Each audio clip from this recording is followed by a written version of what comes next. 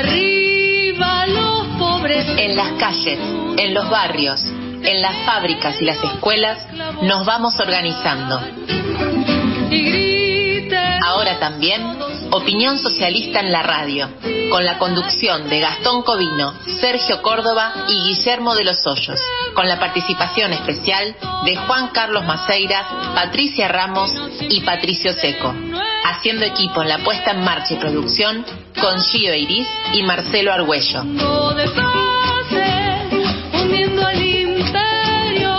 Pretenden arrancarnos el futuro y obligarnos a la barbarie. Este es nuestro aporte para educar, organizar y movilizar al pueblo trabajador. Así comienza Opinión Socialista.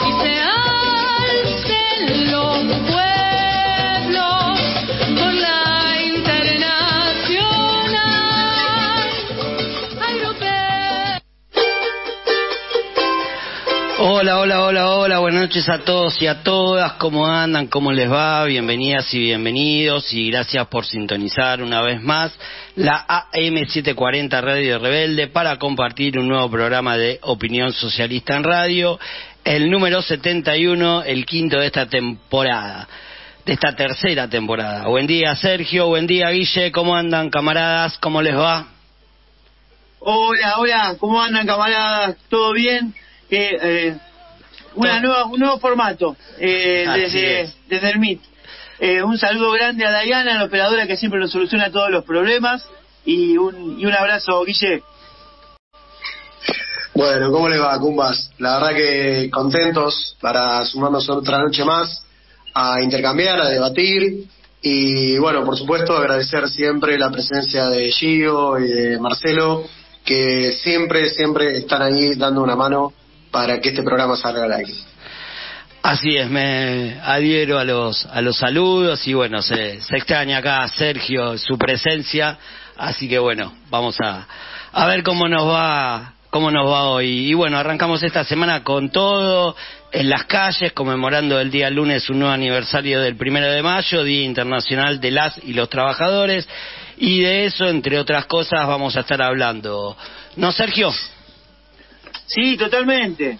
Vamos a estar hablando de, esa gran necesidad que tenemos de unir todas las luchas eh, y de, como decíamos en el programa anterior, no todos a las calles contra el FMI y sobre todo de unirlas contra contra el pago del FMI que es la, la gran cadena que, no, que nos que nos tiene sujetos en, en esta barbarie, ¿no? En la, que día a día nos quieren sumir.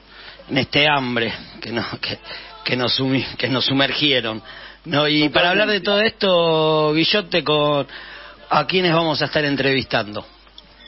Bueno, para hablar de, varias de estas cosas y este primero de mayo donde ha sonado en muchos lugares del mundo esta internacional que nos sirve de, de comienzo del programa, que es el himno internacional de las trabajadores y trabajadoras, vamos a estar charlando con nuestra compañera Sabrina Simeoni, secretaria gremial de ANSAFER Rosario y militante de Opinión Socialista, con Elsa Schwarman, integrante de la Regional Cava de la campaña nacional por el derecho al aborto legal, seguro y gratuito, y con Cristina Castro, madre de Facundo Astudillo Castro, desaparecido y asesinado por la policía bonaerense.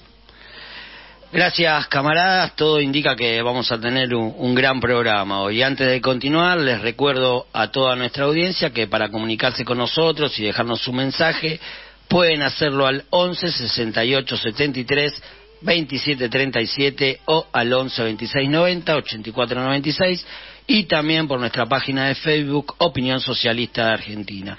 Y también les recuerdo a todos y a todas que en la segunda parte de nuestro programa, a partir de las 22 horas, estaremos con la columna sobre la deuda externa a cargo de Juan Carlos Maceiras y Patricia Ramos, y luego de la misma escucharemos también la columna de represión estatal a cargo de nuestro compañero Pato Seco. Y ahora vamos a escuchar en la voz de nuestra compañera Gio Iris el editorial del programa de hoy.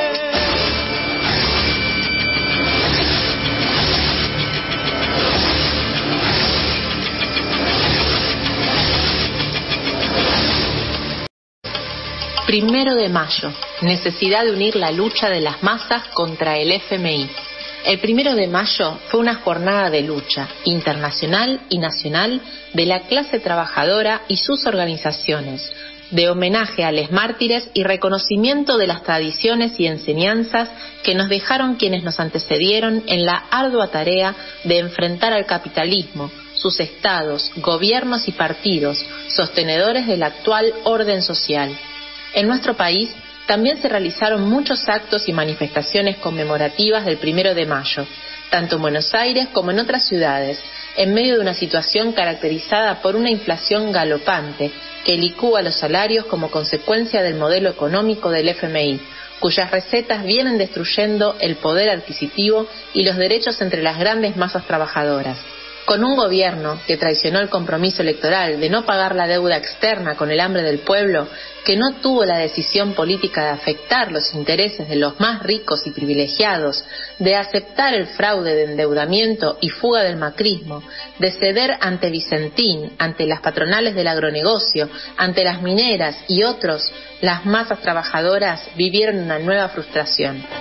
Las burocracias sindicales y el kirchnerismo se encolumnan detrás de la candidatura de Sergio Massa, que ejerce el poder a través del Ministerio de Economía, cumpliendo con las órdenes emanadas del FMI, quien es el causal central de la inflación, la devaluación y demás ataques a los intereses vitales de las masas trabajadoras.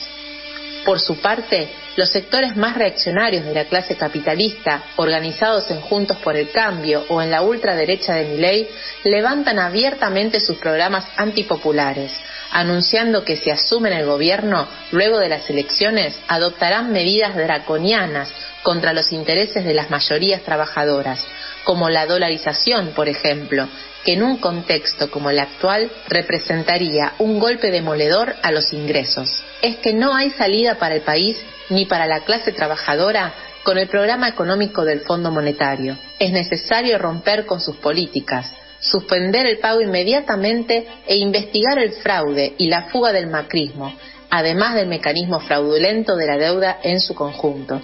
Solo así se podrá reconstruir la economía nacional y defender los derechos amenazados. Para esto es necesario unir las fuerzas tras un solo grito, fuera el FMI. La clase trabajadora, protagonista excluyente de la jornada del primero de mayo, debe ganar las calles con sus organizaciones para repudiar los recortes a los planes sociales, las remarcaciones de precios, los salarios devaluados, la injerencia imperialista en la vida del país, al mismo tiempo que levante un programa medidas de emergencia que garanticen la comida, el salario, las jubilaciones, pensiones y planes, el trabajo, la vivienda y demás necesidades urgentes. El primero de mayo se demostró que hay mucha fuerza para enfrentar al FMI, pero está dispersa hasta el momento.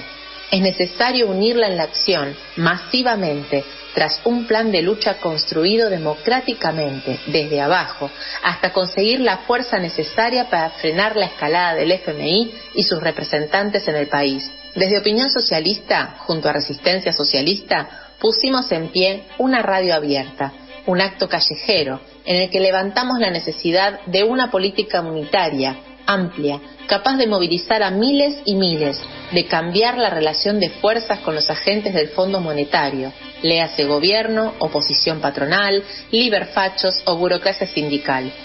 Esa irrupción de las masas es la única clave para que la situación cambie, para que el temor cambie de bando y sean los terratenientes, banqueros y multinacionales quienes teman por sus intereses. Esa política que propusimos para el primero de mayo mantiene una vigencia total de cara a las próximas semanas ya que estuvo planteado unir ampliamente en las calles a diversas organizaciones, como ocurrió por ejemplo en Rosario, donde sindicatos de extracciones e identidades diferentes se unieron en una acción para marchar desde la Bolsa de Comercio al monumento a la bandera en repudio al FMI. El hecho de que algunas de esas organizaciones se identifiquen con el gobierno o con el peronismo no puede ser un argumento para no practicar la unidad de acción, sino lo contrario, las posiciones sectarias no fortalecen, sino que debilitan.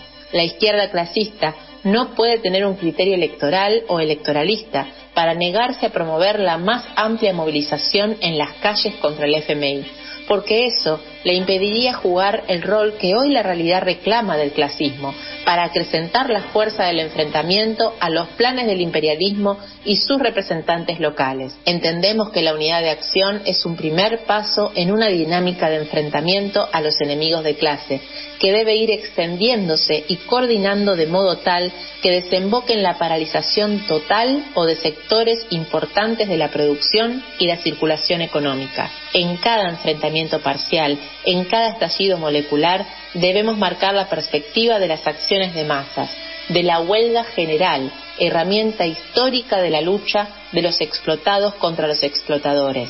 Seguiremos insistiendo en todas las formas posibles que existan enfrentar al FMI y sus agentes en el país, hasta que logremos que los recursos que hoy se destinan a la usura financiera sean destinados a las necesidades de las masas trabajadoras.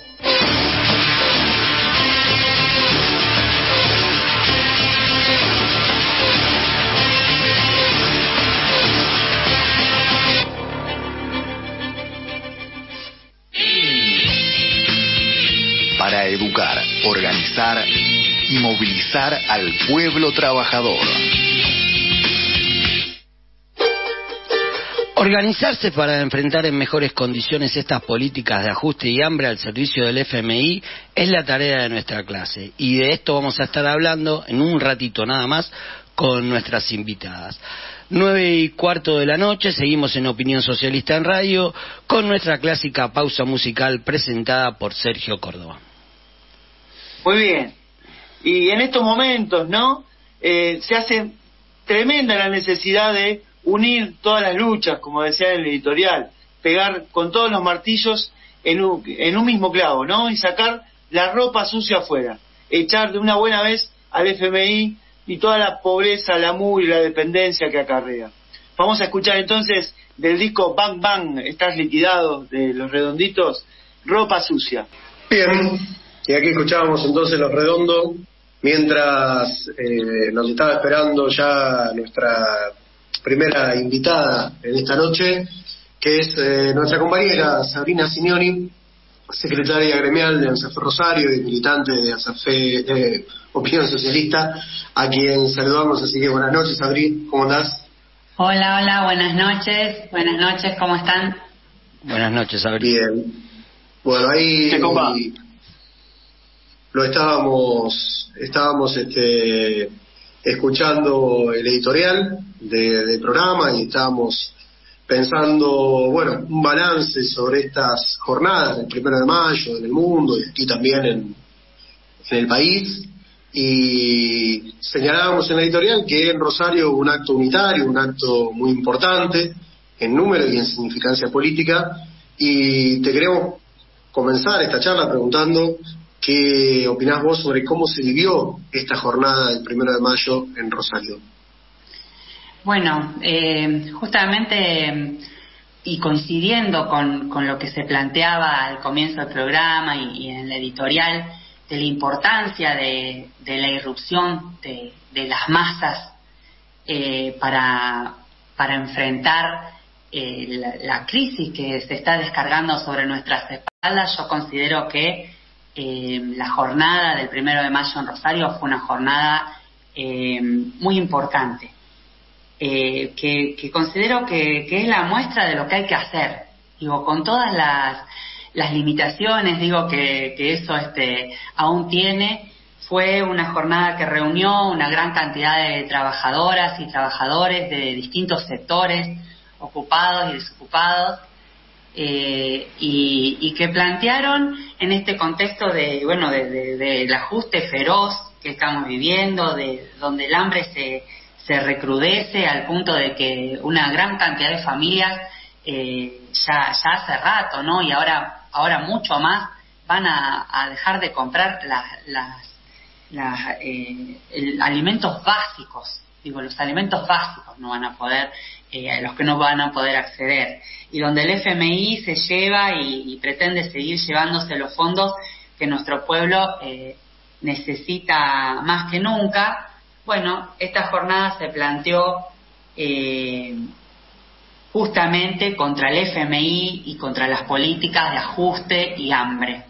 O sea, en, un, en, un, eh, en una amplia unidad eh, que reunió una gran cantidad, estamos hablando de, de alrededor de, una, de unos 10.000 trabajadoras y trabajadores que confluyeron en, eh, en esa jornada, yo la considero una jornada muy importante. La verdad que sí.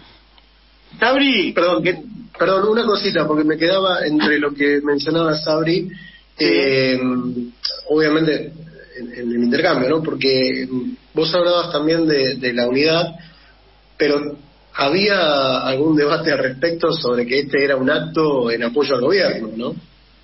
Eh, bueno, sí, no sé eh, qué les parece. Porque nosotros lo planteamos muy claramente, digo, nosotros este, necesitábamos eh, plantar en la calle eh, una bandera urgente contra el ajuste contra el FMI que de ningún modo pensamos que puede hoy, en este contexto donde, donde, no hay, donde la gente no ve salidas, donde hay una crisis muy grande, institucional inclusive, de ninguna manera puede plantarse un acto como ese, un acto semejante, donde claramente tenía una bandera con estas consignas eh, a favor del gobierno. Eh, nosotros, bueno, dimos, eh, dimos ese debate y lo dimos porque consideramos que, que hoy ese es la necesidad eh, de, de, estar en la calle y de ampliar la, la acción de las y los trabajadores y irrumpir, como decía bien la editorial, y, y en eso este, eh, considero que estuvimos haciendo ese, eh, es, esa jornada, esa manifestación, con ese sentido, de que podamos empezar a irrumpir en esta escena y enfrentar eh, estas políticas que, bueno, que si decimos contra el ajuste, contra el hambre, contra el FMI, de ningún modo pueden plantarse eh, a favor de, de, estas, de estas políticas que las está llevando ni más ni menos que el gobierno, que las viene llevando también eh, sin duda los gobiernos anteriores, que ahora quieren todos, y lo vemos, reciclarse y presentarse nuevamente eh, para las próximas elecciones. Así que bueno, eh, nos parece muy importante que, que podamos estar dando esta, esta alternativa desde, desde las y los trabajadores.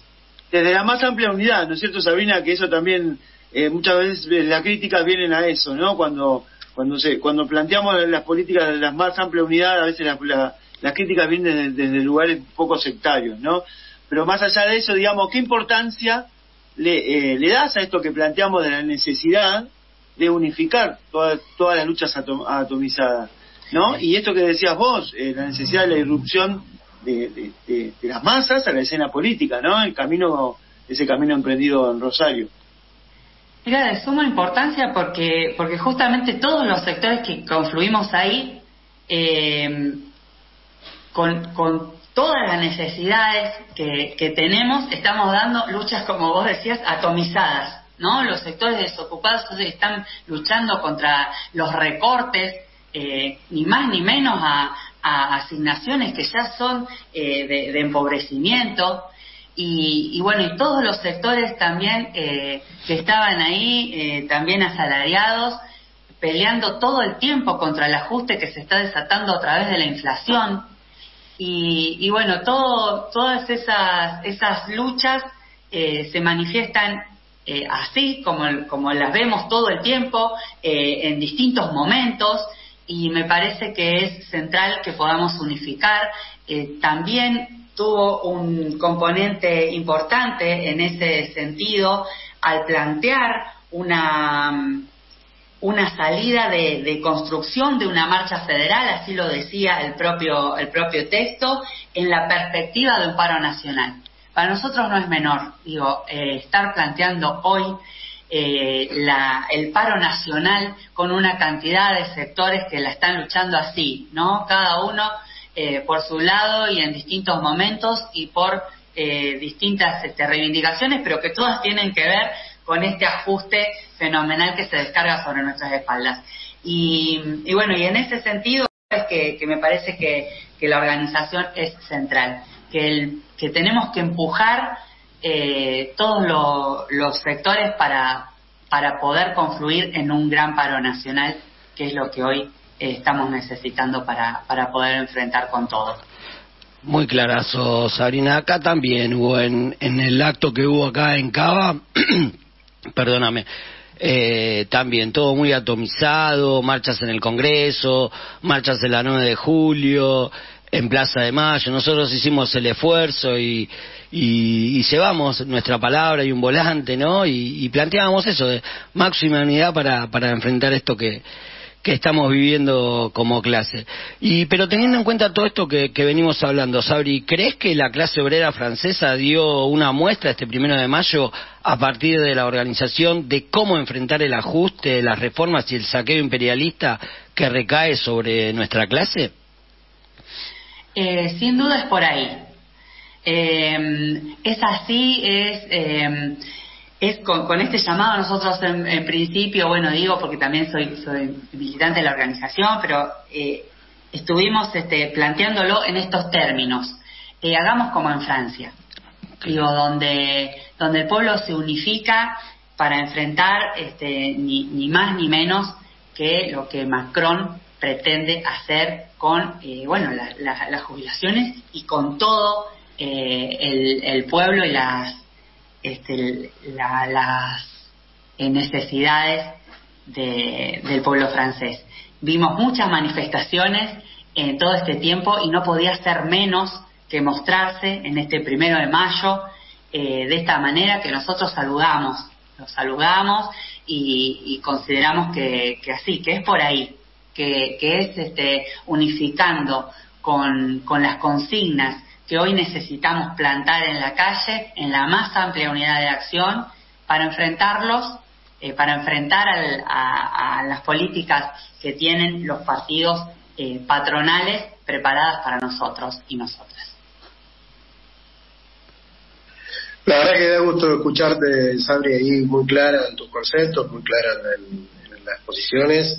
Eh, también sabemos que, bueno, se van llevando adelante en Rosario día a día eh, luchas muy importantes contra el deterioro de las condiciones de vida, con, de las condiciones de, los trabajadores y de las trabajadoras, eh, por el salario, bueno, que vos y, muchas compañeras están ahí presentes en todo eso. Eh, antes de despedirte, queríamos decirte, bueno, si querías agregar algo más sobre, sobre este panorama en torno a las luchas actuales.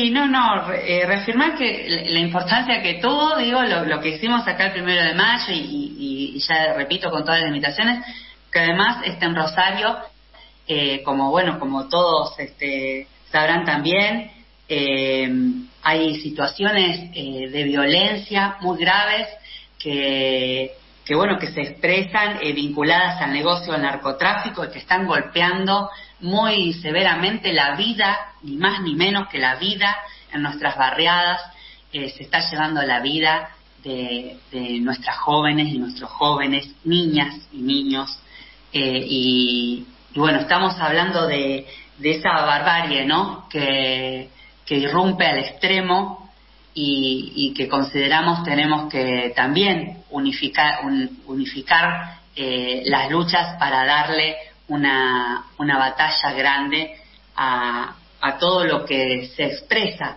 alrededor de la crisis que estamos pasando y, bueno, me parecía importante también... Eh, Barbarie que tiene responsable político, ¿no? En particular de Rosario. No, te decía, barbarie que tiene responsables políticos también. Sí, sí, que donde, donde claramente la responsa los responsables eh, son los gobiernos, los que están, los que estuvieron, eh, hace mucho tiempo que Rosario viene viviendo esto y, se, recrudece con la absoluta responsabilidad de que nos han, de que nos, han gobernado, sin duda. Sabrina, te despedimos. Siempre es un placer tenerte en Opinión Socialista en Radio. Muchísimas gracias por haber estado, compa querida. Abrazo, compañeros. Gracias, gracias. Escuchaste en Opinión Socialista en Radio a Sabrina Simeoni, secretaria gremial de ANSAFE Rosario, militante de Opinión Socialista.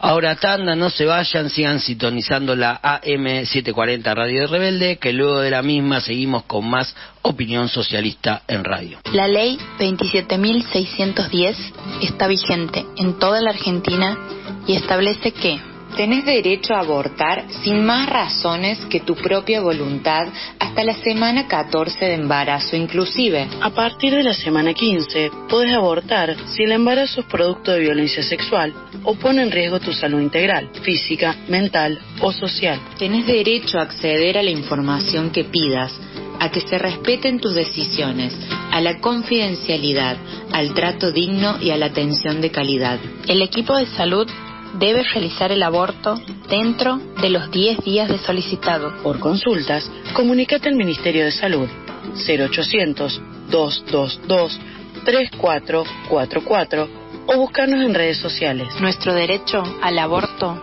es ley. Campaña Nacional por el Derecho al Aborto Legal, Seguro y Gratuito. 21 y 35 de la noche de este jueves 3 de mayo y ahora para hablar del tema del 0800 Vida eh, en nuestros hospitales eh, y de la, del acuerdo este entre la Reta y Houghton, estamos comunicados con Elsa Schwarman, integrante de la Regional Cava de la campaña nacional por el derecho al aborto legal, seguro y gratuito. Buen día, Elsa, ¿cómo te va? Gastón Covino te saluda y junto a Sergio Córdoba y Guillermo de los Hoyos te damos la bienvenida y te agradecemos por estar en nuestro programa. No, gracias a ustedes por convocarnos. Es siempre una audiencia importantísima, así que muchas gracias. Gracias, gracias Elsa por estar. Eh, bueno, mira, el miércoles pasado estuvimos hablando con Viviana Norman, también integrante de la Regional Cava de la campaña. Y pero, pero no, y eh, como la audiencia siempre se renueva, antes de que nos actualices sobre la lucha que vienen dando, nos gustaría que nos cuentes por qué decidieron convocar a una acción verde y, pañuelazo en la legislatura porteña el pasado jueves 27 de abril. Bueno, bien, em, empezamos por el último capítulo de una larga historia. El último capítulo fue la publicidad o la publicación de un convenio entre el, el Ministerio de Salud de la Ciudad de Buenos Aires y una organización dirigida por Houghton, sí. que tenía que tiene como visibilidad el 0800 al que llaman Vida, 0800 Vida, son es una confluencia de organizaciones religiosas y confesionales que hace mucho, que hace un tiempo que existe, y lo que se había publicitado era el convenio para que estas organizaciones eh, y este 0800 Vida tuvieran participación activa en los hospitales y centros de salud de la ciudad de Buenos Aires para atender para, según se dijo, cumplimentar la aplicación de la ley de los mil días, ley que salió conjuntamente con la ley de aborto voluntario. Eh, así que esto es el último capítulo, digo yo, el último capítulo de una larga historia de trabajo que no empezó en ese momento, sino de connivencia de, de estos sectores religiosos fundamentalistas con los poderes políticos y económicos. Esto fue creciendo de a poco y se va manifestando fuertemente cada vez más, no solamente en, el en nuestro país, sino en la ciudad, en el país, en la región, etcétera, este, y se vio fuertemente explicitado cuando los debates del 2018 y el 2020, cuando se, los dos grandes momentos de discusión de la ley de interrupción voluntaria del embarazo, en donde el gobierno de la ciudad dividió la, la plaza en dos, cuando lo que se estaba discutiendo era la, el derecho al aborto, la ley por el derecho al aborto y divide la plaza en dos.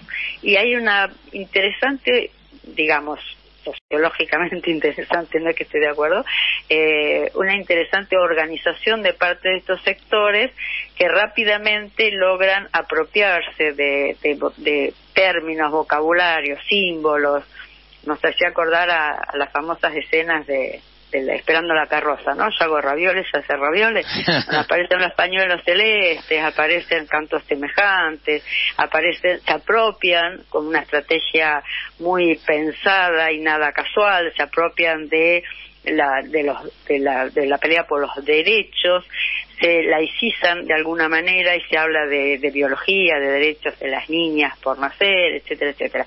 Por eso digo que este convenio en Ciudad de Buenos Aires es como el último capítulo reciente, no sé si es el último, pero es el más reciente, de esta historia que se viene gestando de hace mucho tiempo. La Argentina tiene una larga tradición de sostenimiento de, en su momento desde la Constitución de sostiene la, la, fe católica apostólica romana y hay un gran crecimiento por corrimiento del Estado se apropian de estos espacios distintas órdenes confesionales con un interesante eh, ligamento con las élites políticas que se hay un uso mutuo, digamos, en donde se trafican, no hay trueques de poderes y economía.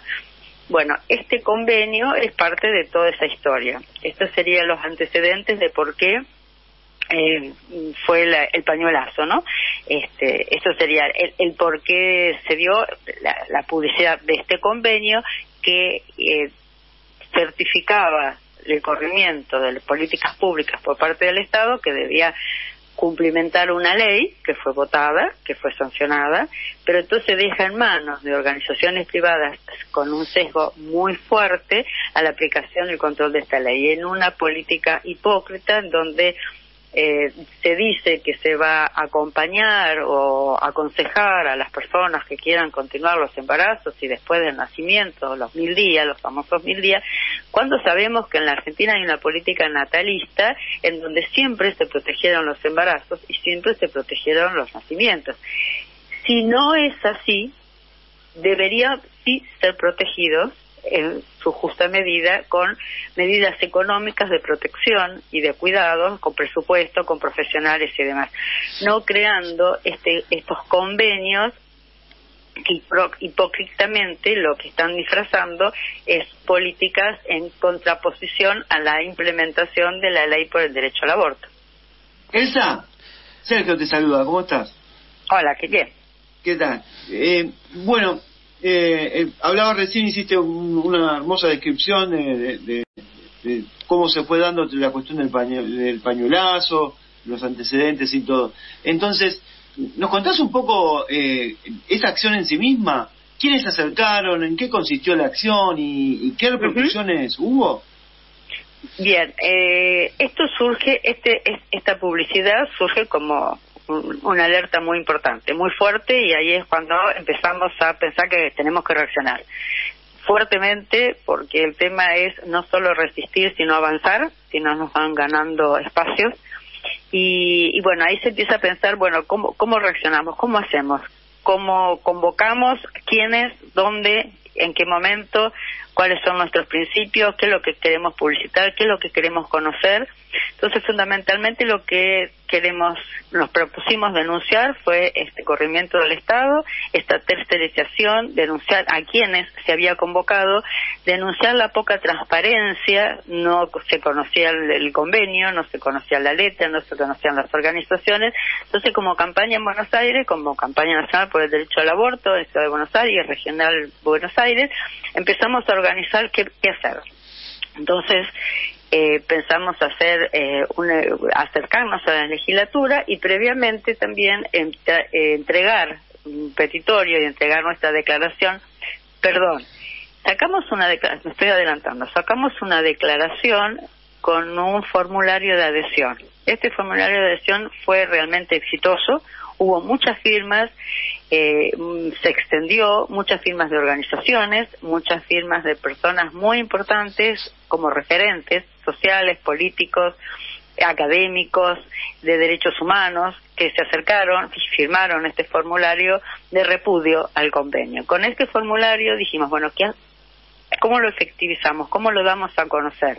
Pensamos varias estrategias. Una, acercarnos formalmente a los, al gobierno de la ciudad y se entregaron las firmas y el petitorio, eh, el rechazo a, este convenio cuando nos presentamos el día martes este, en la la sede del gobierno de la ciudad de Buenos Aires, el Ministerio de Salud y donde tiene la sede el, el, Ministerio Social, no me acuerdo cómo se llama, que es presidido por la señora Houghton en ese momento. Eso era una presentación formal eh, em, digamos, administrativa de presentación de repudio para que se diera trámite y se entregara, se entregó la nota con un número y un sello de recibimiento. Pero también nos importaba que esto fuera socialmente conocido y que fuera difundido y que estas firmas tuvieran una visibilidad de para que se conociera el repudio masivo. Eh, por eso pensamos acercarnos a hacer este acto que ustedes están mencionando el jueves 27 en la legislatura de la Ciudad de Buenos Aires, haciendo una haciendo entrega, convocamos a las leyes y los legisladores eh, para que poder entregarles simbólicamente las firmas que habíamos recopilado, el repudio al convenio y lograr la adhesión a este repudio. así fue como organizamos ese acto. Cuando llegamos estaba toda la cuadra vallada, eh, toda la cuadra entrada a la legislatura con un fuerte dispositivo policial. Realmente eh, eh, la verdad que era un poco tragicómico porque realmente el despliegue era bastante importante, impresionante y tuvimos que hacerlo en una de las esquinas con la consecuencia molestia de, de, todos los transeúntes y las personas que salieron de los trabajos que no que no resultaba demasiado simpática semejante vuelta y no poder usar la cuadra porque estaba toda la cuadra vallada desde las esquinas cerrada el tránsito con altas vallas que es imposible de pasar y una fuerte custodia policial. En esas condiciones se presentaron, eh, nos presentamos, convocadas por la campaña, muchas organizaciones políticas, representantes de, sindicatos, representantes de academias, eh, otras organizaciones que habían también organizado un petitorio de firmas de repudio, por ejemplo la PDH, se acercó a compartir el acto y entregar las firmas representantes de las compañeras del Parlamento de las Mujeres de la Ciudad de Buenos Aires, que existe, no sé si, es público y conocido, pero hay un Parlamento de las Mujeres que funciona como caja de resonancia y de discusión y de monitoreo social de las políticas públicas de la legislatura. Se acercaron también con una declaración de apoyo se leyó se leyó la declaración una declaración de una asociación médica de médicos sociales de apoyo al repudio o sea en contra del convenio. Se acercaron legisladores de distintos partidos de la oposición dos legislaturas de, legisladoras de Junta por el Cambio legisladoras del, del, bloque del FIT de la, el presidente de la Comisión de Violencia Institucional un legislador que no pudo acercarse, pero mandó del frente de todos, que se llama, no quiero dejar de mencionarlo, mandó un video de adhesión también y ya les digo cómo se llama, pero bueno, digamos que la adhesión, el legislador se llama Juan Pablo de Silie, o de Silie, sí, que es del frente de todos y mandó su adhesión y fue por otra parte el día en que la señora vicepresidenta tuvo un acto en La Plata, con lo cual la mayor parte del bloque opositor a la legislatura está, no estaba en Ciudad de Buenos Aires.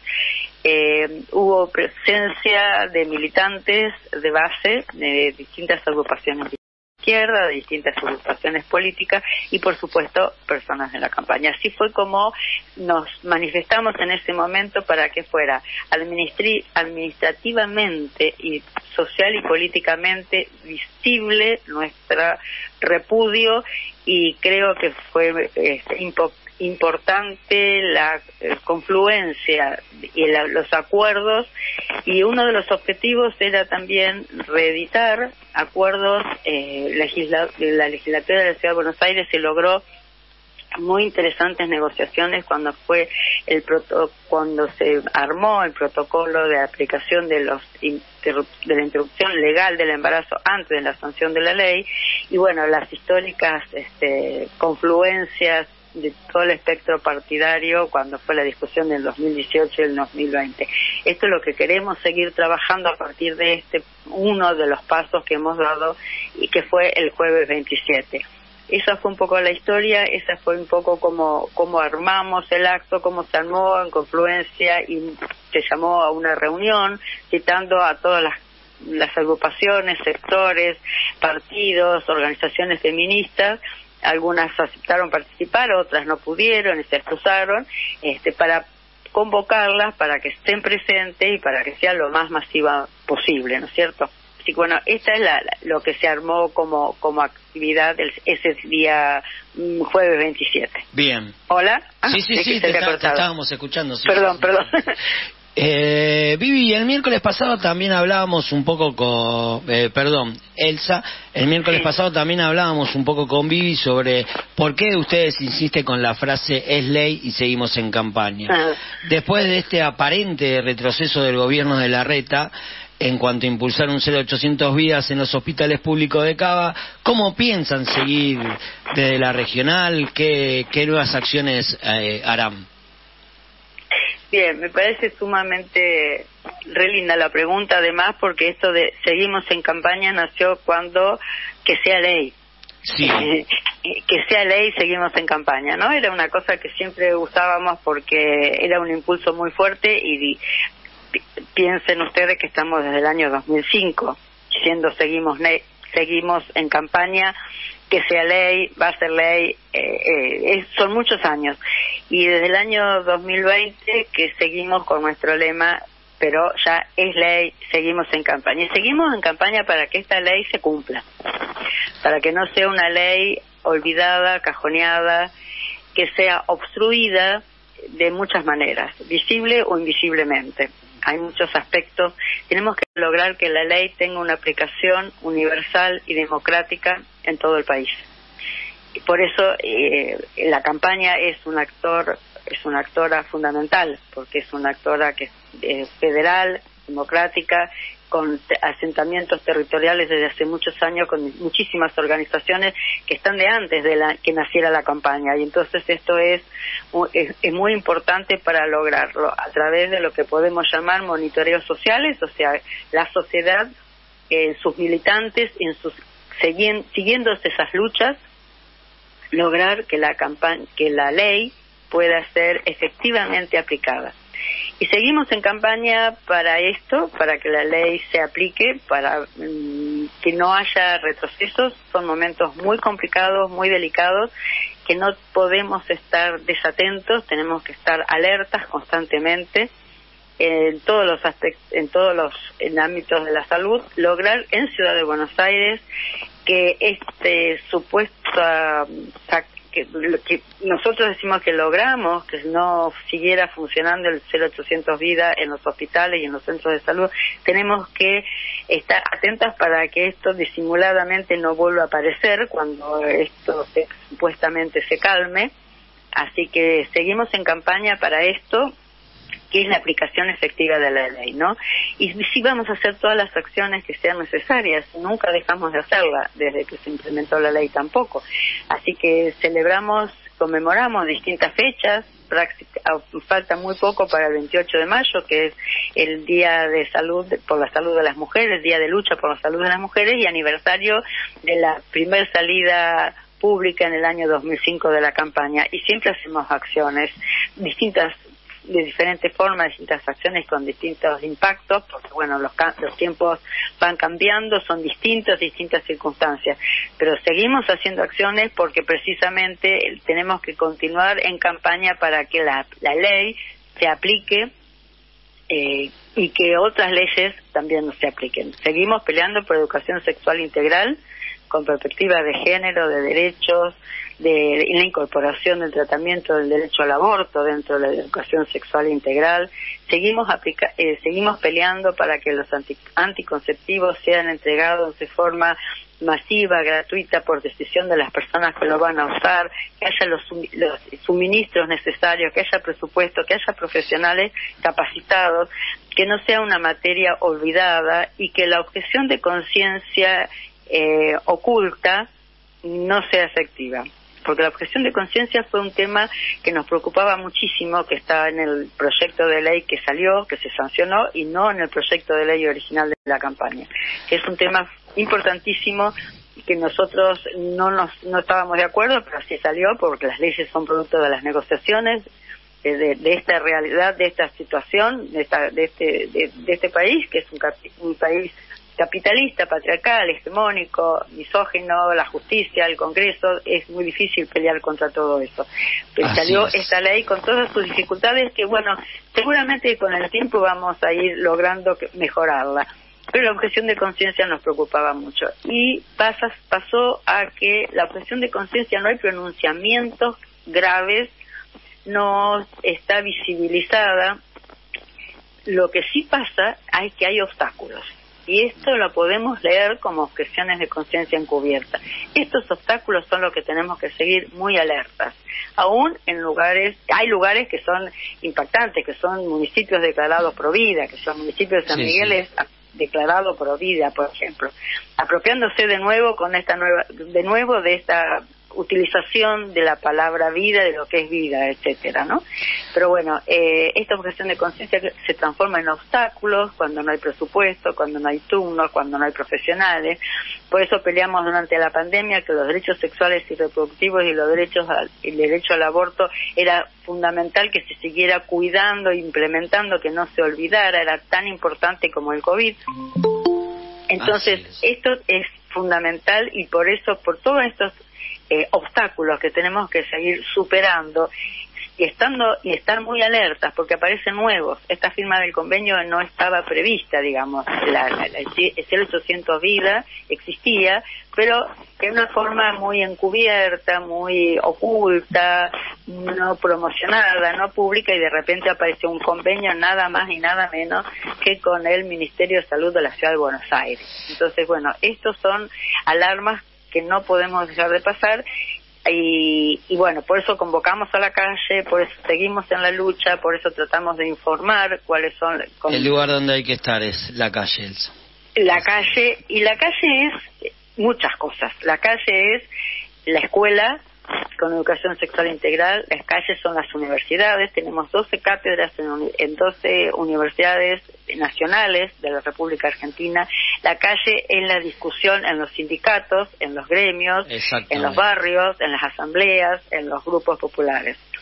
Elsa. los actos, eh, las marchas también. Todo esto es la calle. Así es. Elsa, un placer enorme escucharte, te agradecemos por esta entrevista, te saludo yo porque mientras estábamos hablando se cayó el MIT y Sergio y Guillermo no pudieron estar más, por eso antes tuvimos un silencio, pero bueno, pudimos salir adelante y salió todo muy, muy muy bien. Y fue, bueno, ojalá que, que haya sido así, que pueda ser, aportar un poquito más a esto que, y le agradecemos, eh, hablé yo, pero bueno, en nombre de la campaña, muchísimas gracias por esta difusión y por participar desde siempre, por supuesto. Así es. Gracias, Elsa. Muchas gracias. Gracias a ustedes.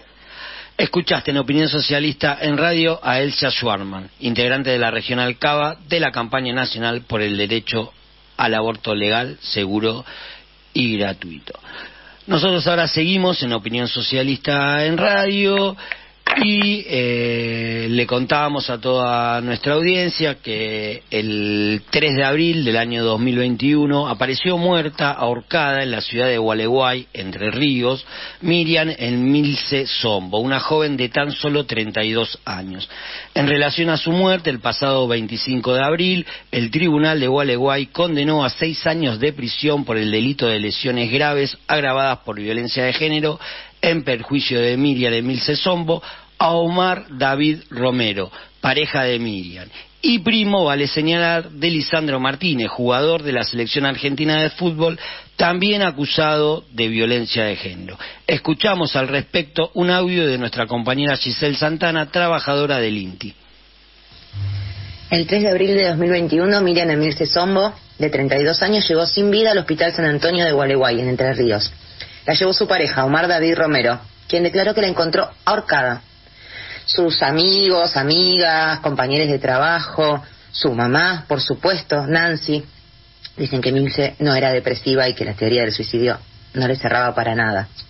Y lo cierto es que Emilce hacía mucho tiempo venía denunciando violencia por parte de Omar David Romero, hasta tal punto que le enseñó a su hijo de 10 años a discar los números de emergencia por si pasaba algo. Y eso hizo el viernes, el viernes 2 de abril, cuando Romero la empezó a golpear como tantas otras veces. El sábado, Miriam Emilce estaba muerta. Su mamá movió cielo y tierra para encontrar justicia. porque no era simplemente un suicidio. Y así fue que lo logró hace unos pocos días. Omar David Romero fue condenado a seis años de prisión por la violencia que ejercía sobre Milce, por las amenazas, por haber entrado ilegalmente a, su hogar. Por supuesto que no es la condena que esperaba Nancy, su mamá, ni que esperábamos todas cuando seguimos gritando cada vez que las Emilce se convierten en una menos, pero al menos no ganó la impunidad gracias a la enorme lucha que las organizaciones feministas en Entre Ríos, con Nancy, la mamá de Milce, al frente, con sus amigas, amigues, compañeros, dieron para lograr esta condena.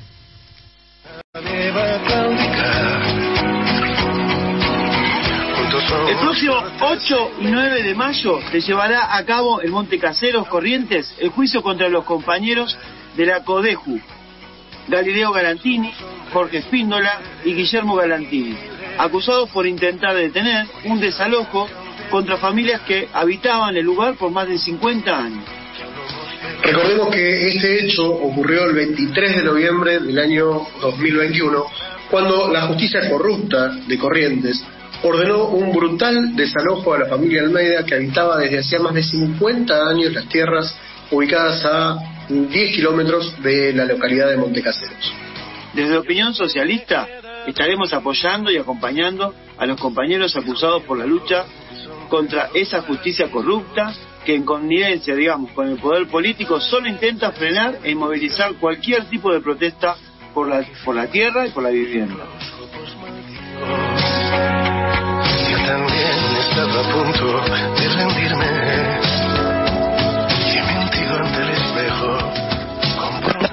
De las políticas del FMI, de la entrega, del saqueo de nuestros recursos, hablamos por ejemplo de las empresas mineras. Al respecto tenemos un audio que nos envió Raúl Barrio Nuevo, vecino de Andalgalá, al cumplirse un año de la brutal represión sufrida por quienes se organizan y luchan contra esta entrega y contra la contaminación. Lo escuchamos. Hola, buen día a los amigos, a los compañeros de lucha, de opinión socialista. Yo soy Raúl de Nuevo, de Andalgalacho allá, y bueno, justamente le envío este mensaje para que ustedes lo recuerden, el atropello que sufre el pueblo de Choya y Andalgalá, generado ese atropello por la gobernación y por el gobierno del país, que envía estas empresas que son ecocidas, no son genocidas, ecocidas, y que no respetan ninguna norma, ninguna ley, ni los acuerdos internacionales que Argentina firmó con la OIT, con Escazú y con Costa Rica. De manera que estamos prácticamente, como se diría, indefensos con este sistema que tenemos de gobierno y seguimos defendiéndonos. Hoy, 3 de mayo, se cumple un año del atropello más grande que realizó la policía, por supuesto enviada por el gobierno de Catamarca y pagado por la minera. Hoy se disfraza de otro nombre, Pan American Silver, que es exactamente lo mismo, es como se dice, la misma defecación con el mismo olor que se dice. ¿eh?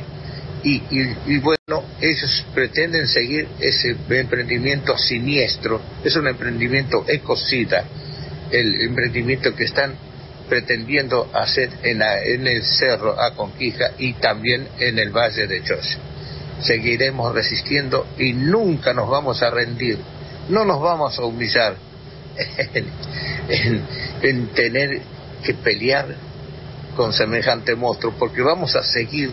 No nos vamos a humillar en retirarnos, nosotros vamos a seguir la lucha, porque la única guerra que se pierde es la que uno abandona, y nosotros no la vamos a abandonar. Así que bueno, salud amigos, y recuerdo, recuerden ustedes que hoy 3 de mayo sufrimos el atropello más grande que puede ocurrir en un pueblo que fue indefenso. Choya nunca tuvo enfrentamiento, jamás fue un pueblo violento, y sin embargo no, todavía muchos vecinos tienen los restos de las balas en el cuerpo, generado por la minera. Eso quiero que lo sepa bien todo el país.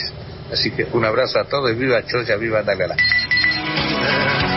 Todo, lo, todo el apoyo a los vecinos de Andalgalá. Muchísimas gra gracias Raúl Barrio Nuevo, no a la mega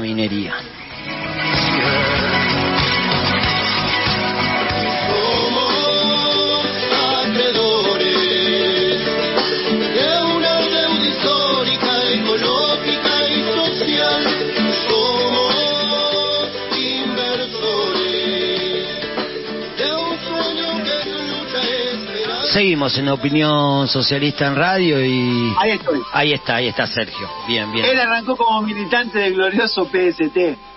Ella, la compañera, empezó en el viejo y querido más, en la época en que eh, a esos militantes los llamaban los locos de la deuda por plantear estos problemas. Son dos reconocidos militantes, docentes de Loma de Zamora, y hoy, a través de su militancia, nuestra organización, Opinión Socialista, es parte de la autoconvocatoria por la deuda junto a Norita, Adolfo Pérez Esquivel y tantos otros y otras.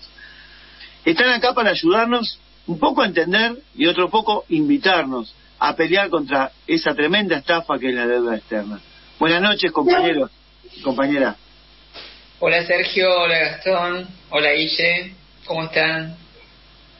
Muy bien, estrenando un formato nuevo, yo acá a distancia, así que si hay algún delay, pedimos disculpas de antemano. No, no, la única duda que tenemos es si esto va a continuar o hay que cambiar de, de Meet, pero bueno, vamos largando. Sí, sí, Este, cualquier cosa los vamos informando. Bueno, Está bien. bien.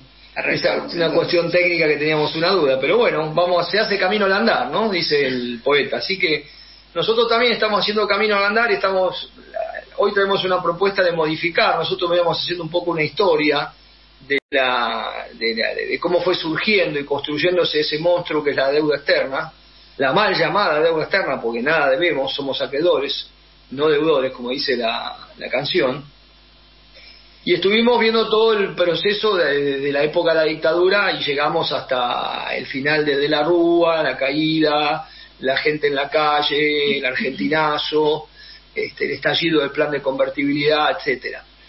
Y bueno, nos tocaba ahora empezar a arrancar un poquito con el gobierno de Dualde y después ir hacia la etapa del kirchnerismo, pero eh, por las cosas que están pasando en el país, que estamos viendo una crisis financiera, económica y política enorme, con consecuencias gravísimas hacia el, hacia el salario, hacia las condiciones de vida del conjunto de la población, especialmente la población trabajadora, y también porque empiezan a aflorar una serie de discursos, este, algunos hasta simplistas, facilistas, diciendo que, bueno, que si hacemos tal o cual cosa todo se va a solucionar rápidamente, mágicamente, si dolarizamos todo se soluciona, o si hacemos tal o cual medida todo se soluciona, y hay distintos debates acerca de planes de estabilización, nos parecía importante entrar un poco en ese debate, este, entonces vamos a hacer una pequeña, un pequeño raconto de lo que estuvimos viendo, de cómo se originó la deuda, y empezar a ver algunas medidas que se podrían tomar este, para evitar que una vez más, como viene pasando, la crisis la- esta vez no la pague el pueblo trabajador, como ha venido pasando a lo largo de estos 40 años de, de restitución de las instituciones democráticas, ¿no es cierto? Así que, bueno, no sé, Patricia, vos...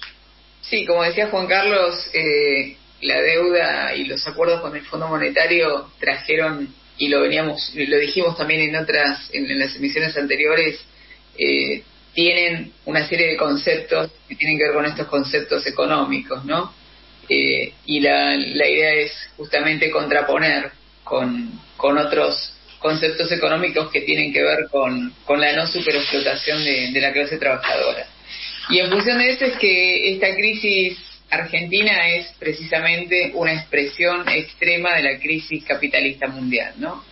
Y, tenemos como, dato importante que la inmensa mayoría de la población a lo largo de estos 30, 50 o 70 años está viviendo cada vez peor. Durante la dictadura nosotros habíamos dicho que eh, había pasado de 8 mil mil millones eh, la deuda a 45 mil millones. Y eso significó que estatizaron deuda privada, que se financió así la fuga de capitales. Esa es una de las, de las grandes, eh, es el común denominador a lo largo de la historia de la deuda hasta, hasta la actualidad, el tema de la fuga de capitales, ¿no? ¿Quiénes se llevaron esos capitales y por qué y para qué? Y quiénes se quedaron sin, sin los salarios y sin, sin, el, sin las jubilaciones o sin las pensiones. Claro, y al calor de esa fuga fue cambiando también la matriz productiva del país, ¿no? Quedándose sin industria, empezaron los despidos, los desocupados, bueno, todas las este, eh, calamidades que venimos viviendo desde el 85 y un poco antes también con la dictadura, ¿no? Y antes Ah, también acá. porque la, digamos la crisis que dejan que deja la, la dictadura que deja eh, que dejan los milicos justamente dejan al, al país atado al imperialismo y a través de, de este factor que es la deuda externa. Asume Alfonsín en el 83 y con el con el discurso no y con el argumento de que no iba a pagar la deuda con el hambre del pueblo. Y su, su tradicional frase de con la democracia se come se, se cura y se educa pero pagó la deuda con No sé el por qué me suena conocida esa frase, che, no Claro. pagar la deuda con el hambre del pueblo, perdón Sí, que sí, sí. te interrumpa. O sea, hay, hay, hay este conceptos que, que se repiten a lo largo de la historia, como, como se repiten las recetas del Fondo Monetario Internacional. Eh, en ese en ese contexto, ¿no? También leyes de obediencia de vida y punto final, eh, el, el hambre del pueblo, el endeudamiento, los acuerdos con el fondo hacen que eh, surja algo muy muy significativo que es la hiperinflación, ¿no? Que condenó a, al, al, pueblo trabajador y a los sectores populares, pero también los, los, los, los paró frente a este ajuste y frente a esta entrega con procesos de lucha, con, con procesos muy importantes como fue en su momento el, el Rosariazo. Y acá yo quiero decir una cosita, ahí es, es el fracaso, la expresión social del fracaso del primer plan de estabilización que fue el plan austral del año 85, de Sorril, que fue el ministro de Economía de Alfonsín. ¿Estamos al aire? Sí, sí, sí, están al aire perfectamente, se, se escucha Ah, muy bien. pensamos que se había producido. No, no, no, no. Se nos cortó en el anterior bloque todo, pero ahora venimos bien, así que... y Bueno, se los está escuchando perfectos. A ambos. Yo diría que... Estamos aprendiendo, como siempre, muy bien. Que menciones este, los ejes sobre los que vas a, a trabajar en, en relación al, al- a contraponer el plan de, de emergencia con, con este Claro. estos planes de, del Fondo Monetario Internacional y los gobiernos burgueses que se fueron sucediendo después de la dictadura. Charlábamos con Patri, tomando en cuenta la- el fracaso del primer plan de estabilización, que fue el de el austral, luego va a venir el, el segundo gran fracaso, que es el del plan de convertibilidad este, y expropiación de los ahorristas antes eh, por parte de Herman González, que fue el plan Monex, que le robaron el 30 o 40% de los ahorros a la gente y le dieron bono a cobrar en el año 99, esto fue en el año 91. Este, bueno, eh, uno de los temas fundamentales para, para nosotros decimos, ¿qué medidas se pueden llegar a tomar para enfrentar esta situación permanente de, de, de crisis de deuda, de crisis de pago, de fuga de capitales este, y de consecuencias eh, sociales eh, nefastas para la población y de permanentes recetas del Fondo Monetario que todos los candidatos ahora lo están tomando, que es el famoso tema del déficit, déficit fiscal. Entonces, ¿de dónde sale el déficit fiscal, no es cierto? Nadie dice que buena parte del déficit fiscal está producido por el pago de los servicios de la deuda, de capital y de intereses. Esa parte no la, no la toman en cuenta. Y es una de las principales erogaciones que tiene el país. Y la otra es la fuga de capitales permanente y sistemática. Entonces nos parecía que había que tomar, se podían tomar dos o tres medidas muy simples, eh, muy contundentes, que podríamos discutirlas para enfrentar la crisis actual del- de, Argentina, que son eh, la suspensión inmediata de los pagos y la investigación de la fuga de capitales y la forma en que se construyeron los 45 mil millones de dólares eh, que dio el crédito de dio como crédito el Fondo Monetario al gobierno de, de Macri y que este gobierno había dicho que lo iba a investigar y que no lo iba a pagar, primero lo iba a investigar, cosa que no hizo. Es más, archivó en el Banco Central toda la investigación que demuestra que fue una estafa colosal.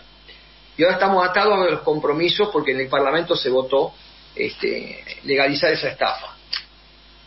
Eh, el otro tema es la, la nacionalización de la banca y del comercio exterior, que tiene que ver fundamentalmente con el tema de la fuga de divisas, permanente y sistemática.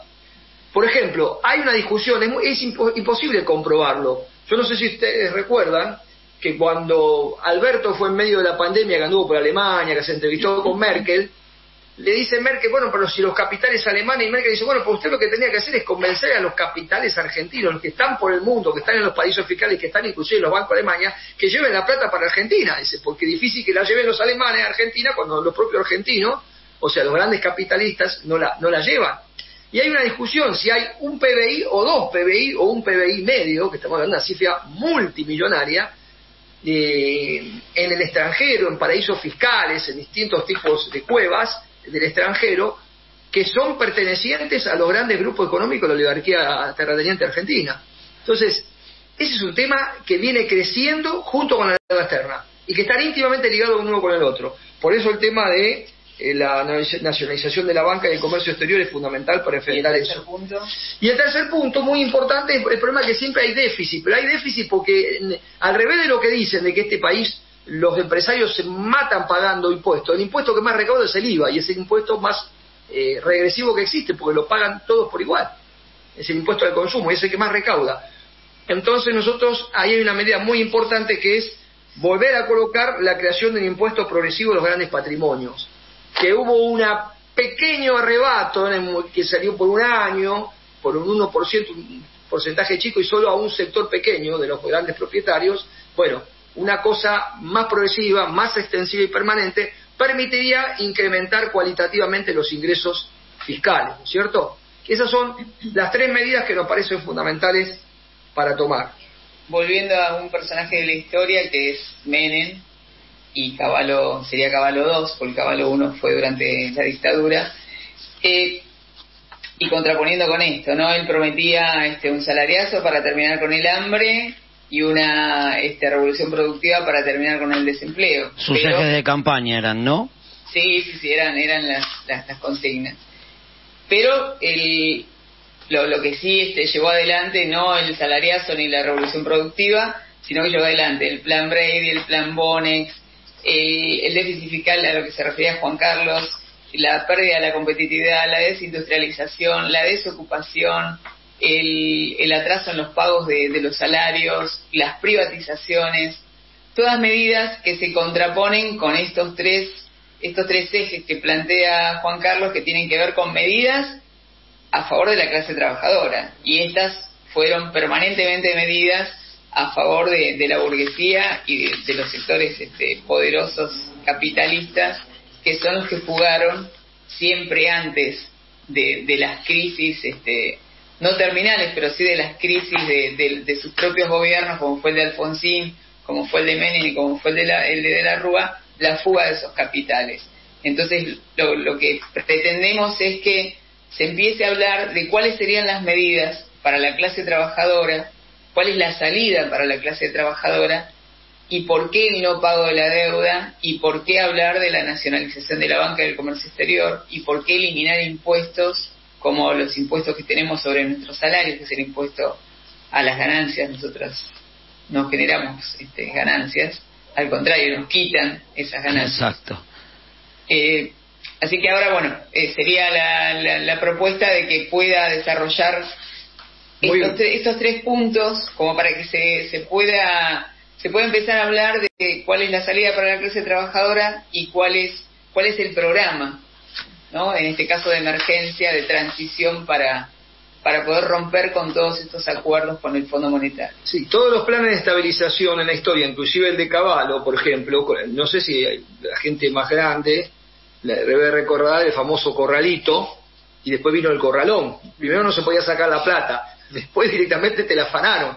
Y después vino Dualde y le puso el moño. Dijo, el que depositó dólares va a recibir dólares de peso a peso y le liquidó de un saque un 30% este, del valor de los ahorros que tenía. Entonces, fue una confiscación brutal, similar o más grande todavía, más grande que la que hizo Herman González con Menem en el, en el 91. Y esa fue el comienzo de la estabilización, digamos, por eso hay que tener mucho cuidado cuando ahora dicen dolarizar. Entonces llevamos el dólar de mira, ¿cuánto van los salarios? ¿Quién paga semejante, semejante plan, no es cierto? O cuando se dice, ahora estaba escuchando hoy a, la, reta que decía, bueno, nosotros vamos a llevar el déficit fiscal a cero. ¿Así cómo lo vas a hacer? Bueno, entonces dice, bueno, vamos a privatizar todo lo que haya que privatizar. Epa, volvimos con la época de Menem. Todas las empresas públicas, las que dan etcétera, etcétera. Y además este, bueno, ahí después empieza también los recortes en salud, en educación, o sea, son recetas que ya las vivimos todas y son siniestras, son un constante avance en la pérdida de derechos, es una constante pérdida de derechos, pérdida de capacidad adquisitiva, pérdida de calidad de, vida de la población, profundización de la matriz eh, exportadora primaria, la primarización de la economía, que para el que nos está escuchando quiere decir que poca industria y mucha exportación de gas, de vaca muerta, de litio, eh, de cereales, ¿no? Este, lo que condena al país al atraso permanente, a la población, a la marginalidad y al hambre, que es lo que ya se está viviendo, porque uno, uno es lo ve, la gente que está en los barrios y todo, la situación es desesperante en, en- en sectores amplios de la población. Entonces, nosotros decimos, hay esas tres medidas son medidas diferentes que apuntan también a un equilibrio fiscal, ¿eh? porque lo que estamos diciendo no es viva la pepa, vamos a vivir, aparte de dónde vamos a sacar la plata, ¿quién nos va a financiar esta medida? La tenemos que financiar nosotros mismos, digo, no va a venir ningún empresario ni grandes capitalistas, inversores internacionales a bancar la suspensión inmediata de los pagos de la deuda y la investigación del fraude que significa la deuda externa. Pero significa achicar el déficit en forma eh, fundamental, en uno o dos puntos de- del déficit. ¿Por qué? Porque vos suspendés momentáneamente, y pruebas al canto cuando se hizo entre, lo impuso la gente en las calles después del 2001, durante tres, cuatro años después hubo, primero se le pagó los buitres, después se le empezó a pagar al, al Fondo Monetario, pero esa, esa masa de dinero que no salió fue una de las cosas que permitió que comenzara una cierta reactivación a partir del 2002-2003. No lo dicen, lo esconden, pero es la realidad. Argentina había entrado en default, o sea, no pagaba. Bien, entonces, esa es una manera también de achicar el déficit. Este, y aparte porque es plata que no vino, que no debemos y que encima nos someten y nos condicionan políticamente, ¿sí? Bueno, no le compres a China, eh, déjanos eh, el litio para nosotros, como dice esta esta señora de, jefa del de, de- es, es una El Comando Sur. Comando Sur, sí, porque es una figura militar, Comando Sur, que no me acuerdo el nombre de esta señora. Bueno, general, no sé qué. Bien, pero ella habla sin pelos en la lengua cuando dijo eso. Entonces, la suspensión inmediata de la deuda, de los pagos y de investigación eh, es fundamental, es una medida fundamental que achicaría. Lo otro es la nacionalización de la banca de comercio exterior. Porque en manos de la patria financiera solo ha servido para financiar la fuga de capitales y los grandes negocios de los, eh, de los grupos económicos. En desmedro de los, no solo del pueblo, sino también de las pymes y de la nación argentina. Yo decía, hay un debate de cuánta plata se han fugado en estos últimos 30, 40 años. Se calcula lo mínimo un PBI completo. Los grandes grupos económicos concentrados. Juan Carlos, sí. acá, acá eh, nombrando esto, yo no puedo dejar de pensar eh, du- durante el gobierno de Macri que saltó todo el tema del de los Panama Papers, tanto Macri como todos sus eh, funcionarios tenían, estaban, salían ahí, tenían cuentas y de alguna manera eh, es como na- naturalizaban el hecho de tener toda la guita afuera eh, y, alguna, y, y no faltó el ministro que dijera, bueno, cuando el país sea más confiable traeré el dinero, volveré a repatriar el dinero, ¿no? Pero nunca lo traen. No. Acuérdense que Macri dijo- gran mentira. ¿no? Acuérdense que Macri dijo, ahora lo dice Milei, Milei dice, no importa que no, necesitamos 30 mil millones que vengan de dólares para financiar la, la dolarización. ¿Y de dónde lo va a sacar? Dice, no, porque va si yo gano va a haber un show de confianza, van a ir todos los capitales que están en el exterior de los argentinos. Macri dijo, yo soy un representante de, la, de los empresarios. Cuando yo gane, y después que ganó lo dijo, ahora va a venir una lluvia de inversiones. ¿Se acuerdan de la lluvia de inversiones que prometía Macri y de los famosos brotes verdes? Bueno, bien. Bueno, todo eso, todo eso fue una mentira total. Siguieron fugando, siguieron fugando. Entonces, la expropiación de la, de, o sea, nacionalización de la banca quiere decir, primero, a la banca privada la vamos a expropiar directamente, porque son todos unos delincuentes. Este, la mesa de dinero y se va a nacionalizar, hay que nacionalizar la banca. ¿Para qué? Para porque hay una nos quieren hacer quedar mal a los compañeros de izquierda, a los socialistas revolucionarios diciendo, no, tengan cuidado todos los que tienen ahorros en los bancos porque van a venir ellos con la nacionalización y le roban la plata a la gente. No, los que roban la plata a la gente son los que hicieron el corralón, el corralito y el plan Bones. Nosotros decimos, La gran expropiación la hizo Caballo. claro, o sea, nosotros decimos a a los dueños de los bancos, hay que respetar a los zorristas, ¿sí? ¿Se entiende? Esto es fundamental. Entonces, de esta forma se evitará la especulación financiera y bancaria en beneficio de los grandes grupos económicos y habrá crédito barato para la obra pública y para los pequeños y medianos productores. La otra medida fundamental que es complementaria es la nacionalización del comercio exterior. ¿Por qué? Un ejemplo, ¿se acuerdan de Vicentín? Se tocó acá que era una editorial, lo dijeron, y Vicentino es la más grande. Son nueve grandes cerealeras, nacionales y extranjeras, seis extranjeras, tres nacionales. Bueno, concentran el grueso de la exportación de granos. Y se calcula, se calcula que evaden el 50% de lo que exportan vía triangulación con eh, el Paraguay, vía la hidrovía, que no hay control alguno, ellos mismos se pesan y dicen lo que sacan del país. Entonces, y aparte eso es una fuente de, de evasión y también de narcotráfico. Entonces, todo este problema de la nacionalización del comercio exterior para evitar la fuga de capitales va a significar también que entren muchas divisas al país y por lo tanto también se va a achicar el déficit fiscal. Fíjese, estamos haciendo las cuentas, parecemos alumnos del Fondo Monetario, pero no, estamos diciendo de dónde salen los recursos, para qué todos estos recursos.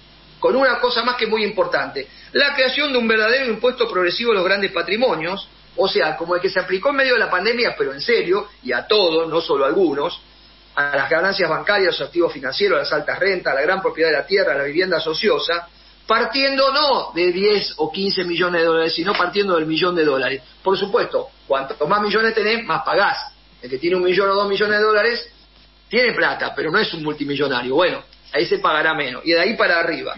Con todas esas medidas, nosotros creemos que se pueden juntar, se pueden recabar, recaudar anualmente alrededor de 20 mil millones de dólares para estabilizar la economía y proponer una serie de medidas que las voy a enunciar nada más muy brevemente porque entiendo que ya estamos en el tiempo, que sería para qué.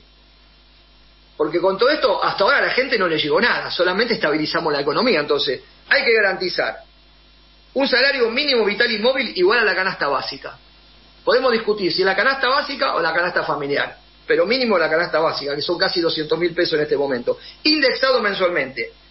¿Por qué salario mínimo vital y móvil? Porque el salario es la base, el mínimo vital y móvil, del cálculo de los iniciales de convenio, las jubilaciones, las pensiones y los planes sociales. Entonces todo va para arriba.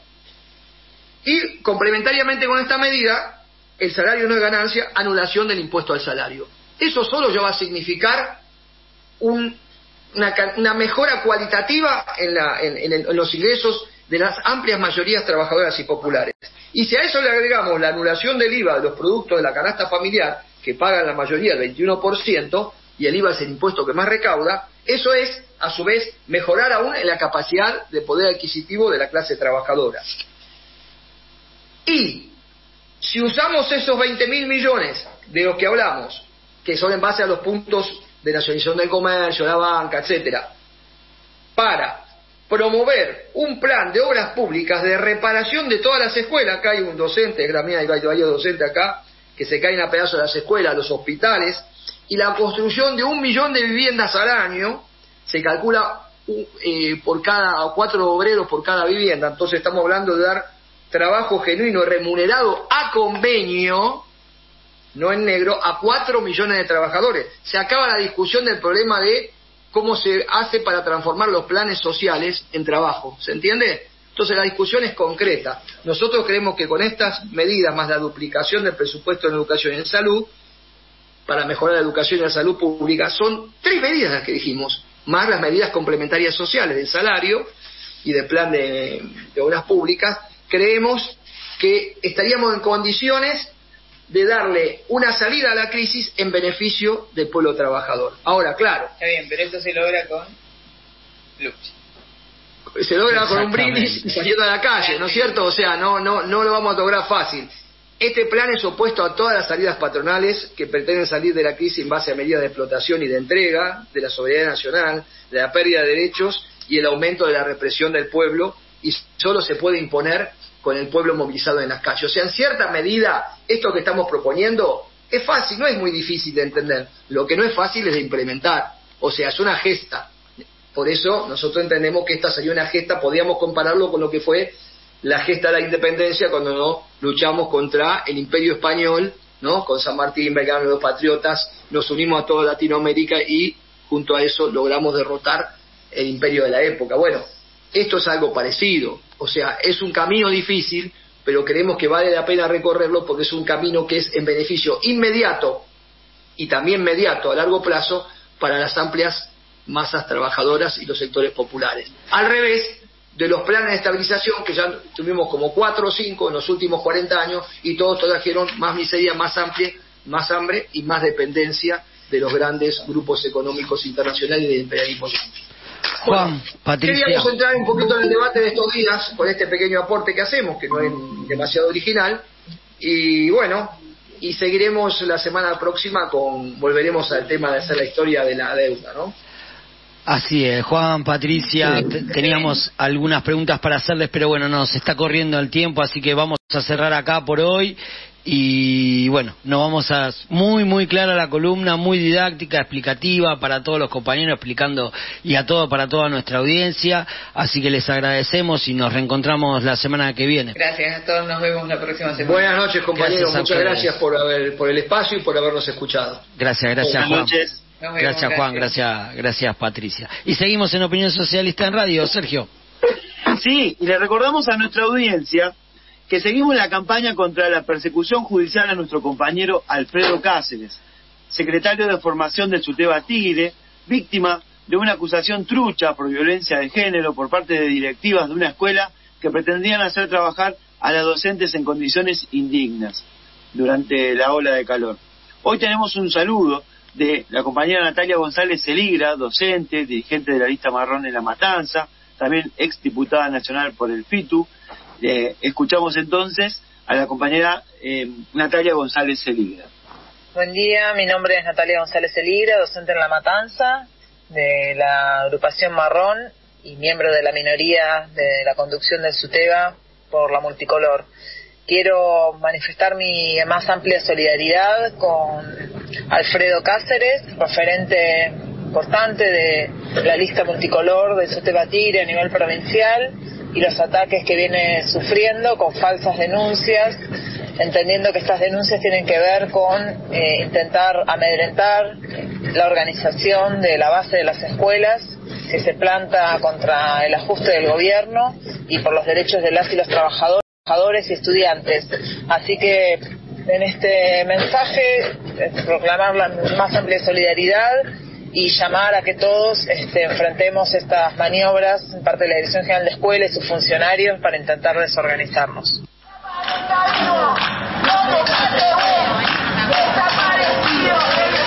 ¿Dónde está? ¿Dónde está?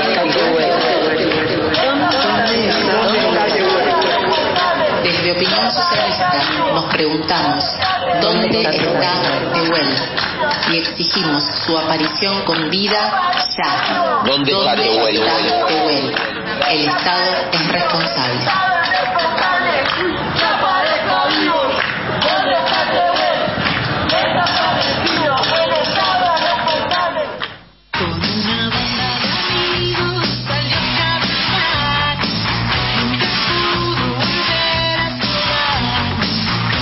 Estado utiliza todos los días su aparato represivo contra la clase trabajadora y el pueblo empobrecido. Nuestra respuesta la organizamos en las calles.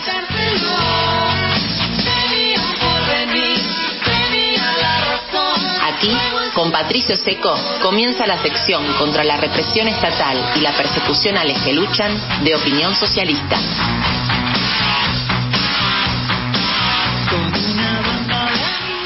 22 y 33 de la noche, seguimos en Opinión Socialista en Radio, con la columna ahora sobre represión estatal y para eso le damos la bienvenida a nuestro queridísimo compañero Patricio Pato Seco, militante de nuestra organización e integrante de Resistiendo, colectivo nacional contra la represión estatal y del Centro de Acción Cultural Diego Cagliero, que sabemos que está como medio engripado, así que le recontra agradecemos que esté acá. ¿Cómo te va, Pato? ¿Cómo andás, compa? ¿Qué tal, compañero? Sí, estoy con un poquito de angina, pero no me lo perdí el programa.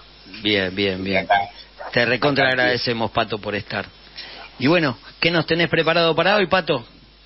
Bueno, hoy vamos a estar con, charlando con Cristina Castro, mamá de Facundo Astudillo Castro, desaparecido y asesinado por la policía bonaerense el 30 de abril del 2020 en medio del recrudecimiento represivo por la pandemia de COVID-19. Así que, oh, ¿estás acá, Cristina? ¿Cómo estás? Hola, Pato, buenas noches. Hola, equipo. Hola, Cristina, ¿cómo te va?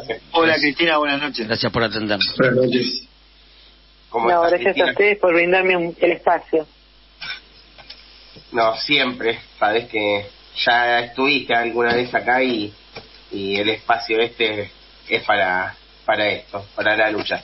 Primero, bueno, quería preguntarte cómo está la causa hoy. Si nos podés hacer un breve La resumen. causa, la causa se sigue moviendo, no al ritmo que nosotros quisiéramos, va más lenta, eh, desde la salida de- del fiscal André Hein, que ahora pasó a ser de, de juez, y nos reemplazaron ese fiscal por el doctor Gentili. Y como que se, se puso muy lenta, muy despacio, eh, cuesta mucho eh, organizarnos para encontrarnos con los fiscales, cuesta, cuesta mucho viajar, son ellos tenemos dos de Buenos Aires, Gentili y Azolín son de Buenos Aires y Yara Silvestre, quien está a cargo de la causa, es de La Pampa, entonces cuesta muchísimo organizarnos para verlos, para reunirnos, eh, por lo general lo estamos haciendo por Zoom pero la causa sigue avanzando y ahora último hemos tenido un avance importantísimo, eh, hemos seguido con las mismas pericias, nosotros la causa está en proceso, en el proceso probatorio todavía. Y eh, si no se olvidan, si recuerdan, en un principio teníamos eh, una jueza, la doctora María Gabriela Marrón, y el Sí. fiscal, eh, bueno, ya no lo quiero ni nombrar al fiscal. Eh, en ese entonces nosotros pedimos muchas pericias que nos fueron negadas y al cambiar la causa y pasar al fuero del doctor Walter López da Silva, el doctor López da Silva ahora hace una semana nos ha otorgado unas pericias, unas pruebas que eran fundamentales hacerlas y nada, estamos agradecidos de que nos haya autorizado hacer esas pericias. A la vez también estamos agradecidos al doctor López da Silva que recibió la denuncia del fiscal eh, del primer fiscal de la causa, donde denunciaba a Marcos Darío Herrero y pedía la inmediata eh, la inmediata prisión de Marcos Darío Herrero. Y el fiscal medio como que lo puso en orden y le dijo, señor, eh, el señor Marcos Herrero no ha actuado mal, están los videos grabados no solamente por nosotros, sino por gente de Policía Federal y de Gendarmería, y donde no se ve que el, señor Marcos Herrero haya hecho nada en contra de la causa, haya plantado alguna prueba como él lo acusa, o haya hecho algo inapropiado.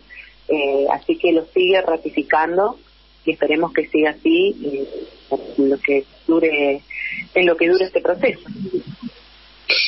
Cristina, eh, Guillermo de los Hoyos, te saluda, buenas noches.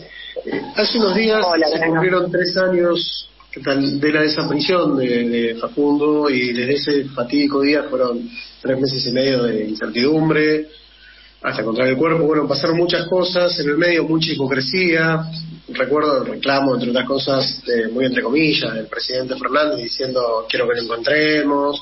Si alguien fue responsable de un acto ilícito, tiene que cargar con las consecuencias. Bueno, por suerte, sí tuviste el real apoyo de referentes como Norita Cortiñas, espacios de derechos humanos, como el Encuentro de Memoria, Verdad y Justicia. Bueno, quería que nos comentes un poquito qué importancia tiene para vos este acompañamiento el de- y el de todo ese, ese acompañamiento real que has tenido, ¿no?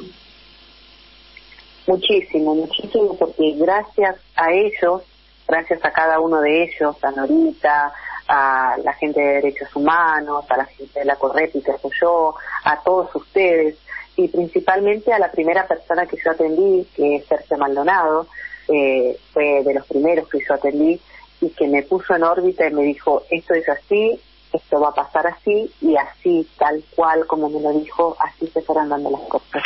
Eh, estoy agradecidísima con toda esta gente, ha sido el empujón, el envión que necesitábamos para para poder pelear, para que la lucha que nosotros estábamos dando era terrible, pero nosotros de acá, desde el interior, en un pueblito chiquito, si no hubiera sido por el apoyo de todas esas personas, eh, no, lo hubiéramos, no lo hubiéramos logrado, no hubiéramos podido llegar a Buenos Aires, no nos hubieran devuelto siquiera el cuerpo de Facundo, y hoy en día estaríamos como Vivi Alegre peleando para que devuelvan el cuerpo de mi Pato, de nuevo.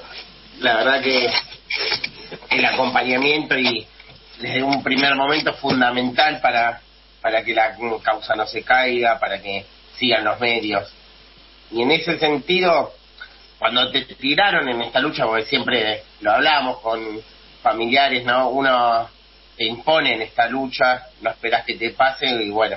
Entonces cuando te tiraron, conociste a más familiares, compañeros que ya recorrían estos caminos de injusticia, de encubrimiento, de amenazas, porque sabemos que todos los familiares eh, pasan por amenazas y les pinchan los teléfonos.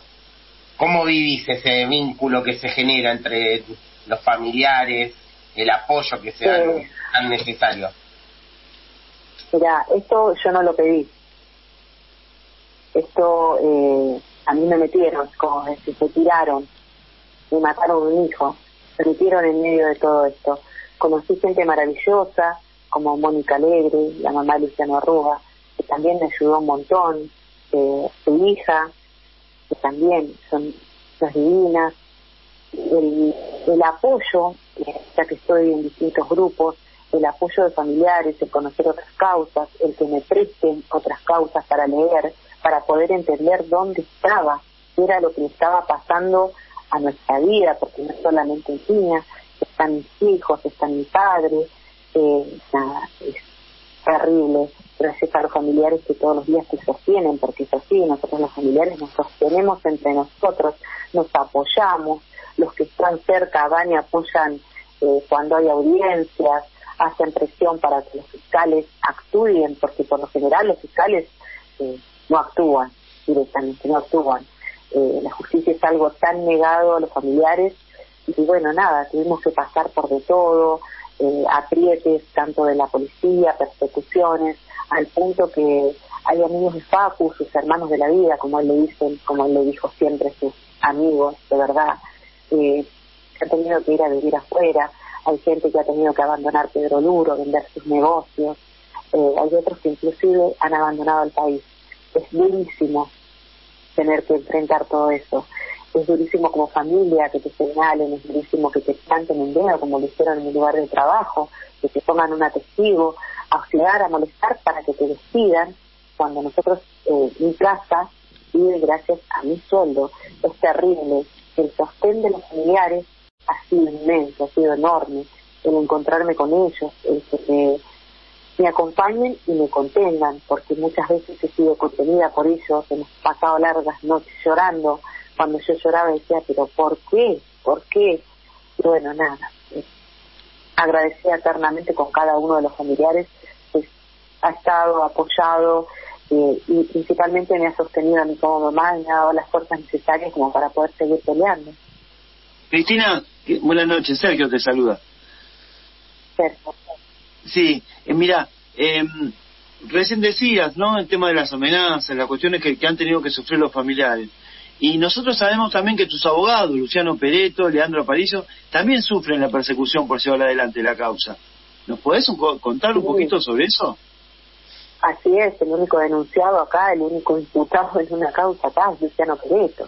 Acá Luciano Pereto lo, lo persigue la doctora María Gabriela Marrón. Ah, no sé, se puso a capa y espada eh, defendiendo a los policías y eh, lo persigue, tiene una denuncia, nos hemos tenido que presentar a declarar en el colegio de abogados, eh, también por denuncias que tiene Leandro Aparicio, es increíble cómo los persiguen, es increíble cómo también han sido hostigados por la policía, es más, en un momento eh, Leandro volviendo de Buenos Aires, estando guardando su camioneta en una, en una cochera en Bahía Blanca, eh, eran dos personas que eran personas de la calle, o sea, eh, como te puedo explicar, mendigos, y de golpe se acercaron a la camioneta de Leandro y empezaron a sacar en unas cámaras, en mi vida había visto semejantes cámaras y empezaron a fotografiar la camioneta, entonces Leandro llamó gente para que le revise la camioneta para ver qué le habían colocado.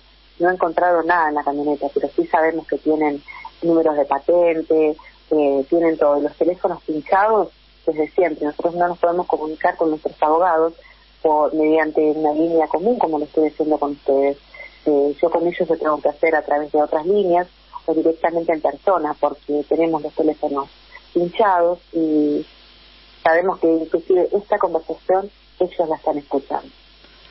Le recordamos a toda nuestra audiencia que estamos hablando con Cristina Castro, mamá de Facundo Astudillo Castro, desaparecido y asesinado por la policía bonaerense el 30 de abril del año 2020. Eh, Pato. Cris, Cris, eh, también la persecución viene desde, me meto un poquito en esto porque hablábamos de tus abogados, eh, hasta hay operadores que se dicen periodistas que, que operan para para tirar abajo la causa, para para desmentir los de la familia. Inclusive allá ustedes tienen a un tal Dugan, nada, hasta amenazado telefónicamente a mi abogado, Leandro París, diciéndole que iba a terminar preso como Marcos Herrero, que él se iba a encargar de ir a fotografiarlo, que le iban a dejar entrar, que una vez que estuviera expulsado y que iba a disfrutar ese momento. ¿A quién te referís, eh, Cristina? A Dugan. Ah, repitámoslos bien así queda bien, bien claro. Tata, perdóname. Y acá en Bahía, acá en Bahía Blanca hasta un libro hicieron, que sabemos que fue financiado por Sergio Berni. Eh, sacaron un libro, tienen los portales de la novela Brújula, sabemos que son pertenecen a, a personas, bueno, la nueva ya saben ustedes que en época de dictadura era quien cubría y encubría las desapariciones es terrible lo que lo que hemos vivido es terrible no se lo deseo a nadie pero sí los operadores están todo el tiempo eh, cada vez que la causa avanza un poquito ellos se encargan de salir enviar eh, inclusive la testigo H vimos que eh, ya se la, se la iba a buscar con la fuerza para que se presentara a declarar porque no se había presentado nos hizo viajar muchísimas veces a Bahía Blanca y no se presentaba a declarar la iban a ir a buscar con, por la fuerza pública y eh, no se presentó a declarar, pero sí se presentaba en estos programas, estos operadores mediáticos. Es terrible lo que hicieron, es terrible que nadie pueda hacer nada contra ellos. Sabemos que los fiscales eh, ya le habían advertido a ella que era la última oportunidad que le daban para presentarse a declarar. Se presentó no estando yo, porque las veces anteriores sí estaba yo presente. Quería escucharle, quería que me viera la cara y no lo hizo. Pero sí se presentó ante ante estos medios a declarar, y decir sus mentiras y sus barbaridades que dice. Por último, te pregunto, Cris, a modo de cierre, te pido si nos podés dejar tu mirada en cuanto al rol del Estado en estos casos, como el de Facundo, como el de Santiago Maldonado, que decís que Sergio fue la primera persona que atendiste. Mi mirada sobre todo esto es eh, que la justicia está comprada la justicia, el, Estado es ausente, completamente ausente. Eh, matan a alguien. O muy presente. sí, sí. Eh, matan a alguien y ellos enseguida, su ministro sale a, a cuidar a las familias principalmente y sale a atacar a las víctimas, personas muertas bajo las bajo la policía la sale a atacar. Eh, nunca, nunca jamás los he escuchado siquiera replantearse y decir en qué estamos fallando, nosotros en qué está fallando nuestra fuerza. Al contrario, siempre salen a ensuciar a la víctima, salen a, atacarlos y me duele mucho escuchar, yo he escuchado este último caso del colectivero que fue tan famoso y no, no podía creer que Sergio Berni estuviera atacando a un colectivero que estaba solo tres días de jubilarse y nunca se replanteó, nunca se hizo eh, mea culpa de decir por qué eh, los, los chorros o delincuentes, como le quieran llamar, tienen estas armas, quién se las provee, de dónde las sacan. En ningún momento hizo algo para alentar a la búsqueda de estas personas. Todo lo contrario, yo creo que desvía todas las investigaciones. También tenés el caso de Diana Breu, eh, que ha hecho, se ahorcó en una, comisaría, eh, donde ya se habían ahorcado cinco personas. Yo no creo que cinco personas se puedan ahorcar en la misma celda. Modo que tienen ellos ya para... Ellos los suicidan en las comisarías. En vez de salir a defender a las víctimas como debería ser, salir a apoyar a las familias, salen a atacar, no solamente a la familia y a las víctimas. El Estado está para cuidarnos a nosotros, no para cuidar a Cecilia. En este momento lo único que veo es que el Estado cuida asesinos, asesinos pagados por nosotros, que es lo que más te duele. Enfrentarse a un Estado tan, tan mentiroso duele darse de narices contra la pared y ver cuán lejos llegan con sus tiras, cuán lejos llegan, que no les importan las vidas de los pibes, les importa seguir permaneciendo en el poder, seguir manejando nuestra Argentina porque es nuestra, no les pertenece y aún así nos siguen atacando. Eh, yo creo que nunca más de la dictadura, cuando terminó la dictadura, nunca más eh, lloran las madres porque ya no lo pedimos, ya lo imploramos, eh, nunca, nunca lo entendieron. Desde la dictadura hasta acá han seguido matando muchísimas personas y es algo que la sociedad tiene que entender y es, es esto lo que tenemos que parar. Que nos sigan matando los pibes, de la forma que sea, nos siguen matando los pibes.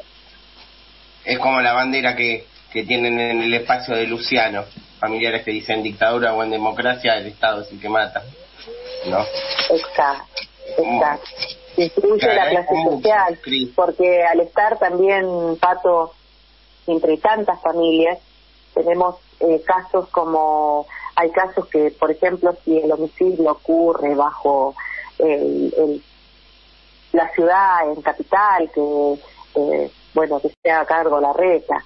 No es así, la policía es asesina estando en la reta, estando en provincia, estando en Córdoba. Es así, cuando los eh, a quien matan tiene un poco de poder adquisitivo, enseguida encuentran a los asesinos, los meten presos y hay un juicio y toda la historia.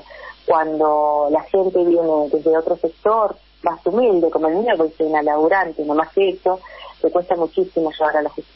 Pero yo sé que vamos a llegar y que Facu va a tener justicia, porque en todo ese expediente que hay de la causa de Facu, lo único que hemos logrado tener la certeza es Facu.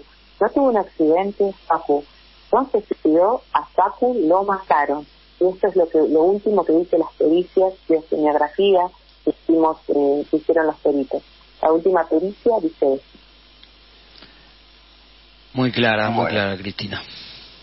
Acá estamos para lo que necesites, como siempre, Cris, y te agradezco de nuevo por habernos atendido. Y ya nos vamos a estar cruzando en algún momento, en alguna lucha, como siempre, en la calle. Ya nos cruzaremos en la calle, la lucha.